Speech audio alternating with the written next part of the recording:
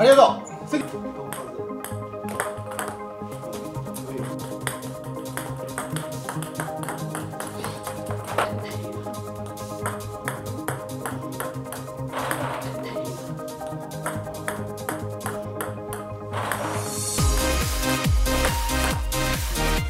皆さんこんにちは。ワールドラバーマーケットのグッチです。今回も卓球チームからの方よろしくお願いします。本日のテーマはバックのジャイロサーブのやり方を紹介します。非常によく回転のかかった回転の軸をずらしたバックのサーブですね、まあ、非常によく曲がってで回転が通常よりもより切れる。なのでバックのサーブのエースがすごく増える切り方を紹介します。で今日はですねその、まあ、3つの手順でさっとやっていくんですけどもまず1つ目。1つ目はですねまずバックサーブのジャイロを入れるグリップの持ち方があります。で実はですねこうシェイクの方はですね5本指で握ってるのは基本のやり方だと思うんですけどもこの時に人差し指こちらの方をしっかりこう引っ込めるこんな感じです。見てください。こういうこのぐらいですね。人差し指をラバーの上でかなり引っ込めた状態でこうやって握ることによってですねこうするとバックサーブが手首の手首をフルに使うことができる。横回転を強くかけることができる。グリップのやり方になります。あまああのバックサーブの名手と言われているあの日本のあの藤井選手でしたりあのー、あとはですね、えーと、オフチャル選手なんかもこういう握り方バックサーブでブチッと切るためにはこういう握り方が結構おすすめです。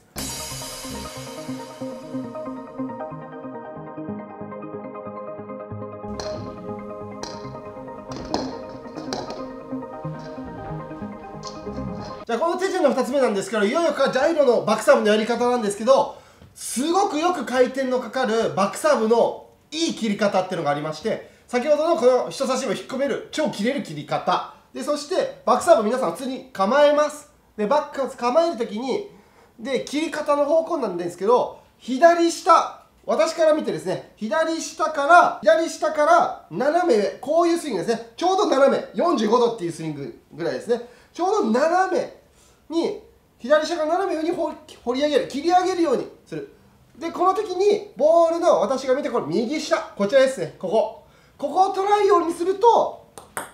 すごい強烈な回転が出せる切り方になります。バックサーブはですね意外とですねこう平行で切ったりとかですね上から叩いてくように切ったりとかいろんなスイングの方法があるんですけども一番ジャイロで超こう曲がって強烈なスピンをで全力切りができる。全力で切っても短くなるっていうやり方はですね実はこうな斜め下から右上にかけて左下から右上にかけてこういう斜め切りが一番あのまあボールにも力が伝えやすくてスピンのさ超入るやり方なんですよね。上からだと押してしまう可能性あります。速あの回転入ります。平行だと切れるんですけどあの前に行っちゃう力が強いですよね。なので短く切るっていうのは難しかったでしょでも左下から右上に振るようにするとこれだと止まってめっちゃ切れるのでこうやってすごくよくこういう感じで曲がるんですよね。中トロのバックサーブの皆さんよりももっと2倍ぐらいのスイングで切れるのでよりサーブエースが増えるというからくりですね。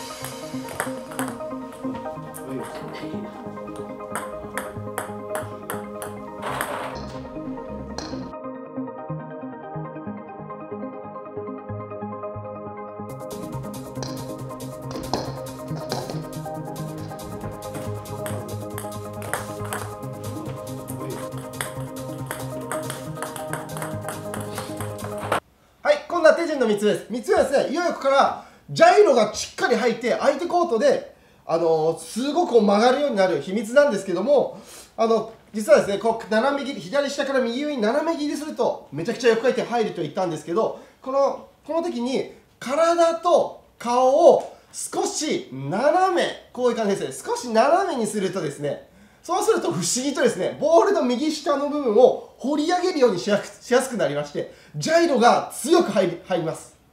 体の正面向けた状態でやるとちょっとあまり入りづらかったりするんですけどこう体を体をちょっと斜めで頭も、まあ、こっちですね左側にちょっと斜めまあオフィシャル選手とか斜めになってますよね体。こう斜めねじってるんですけど、ね、体を斜めにした状態にすると左下から右上にこう斜め切りがこう超すくい上げる感じになってめっちゃこれでこうやってやるとめっちゃ曲がるジャイロが自然とできます。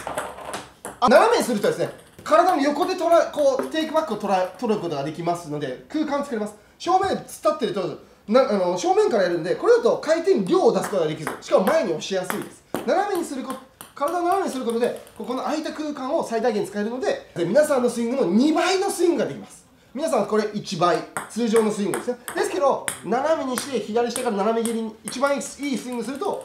めっちゃ振れます。全力で振ってください。全力で振ってちょうどいいです。全力で振ってください。全力で振って今ツーバンドで超短いサーブが出てるんですけどこういう感じですね。全力で振る。そうすると超切れて曲がるサーブがこれで出せます。はい。はい結構簡単ですよね。こういう3つのポイントだけですごくよく回転のかかった通常の皆さんのバックサーブの、まあ、2倍近くスイングでめっちゃ切れてなおかつ相手コートで止まるから相手が打とうとしてもチキータしようとしてもあの手前にめっちゃ止まるんで結局つつきで合わせるしかチキータとかしづらい。バウンドが低くなるっていう強烈なジャイロの横回転。でしかも回転の変化がですねこれ横横下どうやるのってことなんですけどもあの横横下はジャイロ回転を入れてるので相手コートでバウンドすればそのジャイロの質が変化するので自然とですね同じ振りで上その上っぽくなったり下っぽくなったりとかあの自分も分からない範囲ですごい変化をしてくれます。なので、まあ、自分が分からないってことは相手も分からないっていう感じになりますので、まあ、非常に面白いあのよく切れよく切れて効くサーブになります。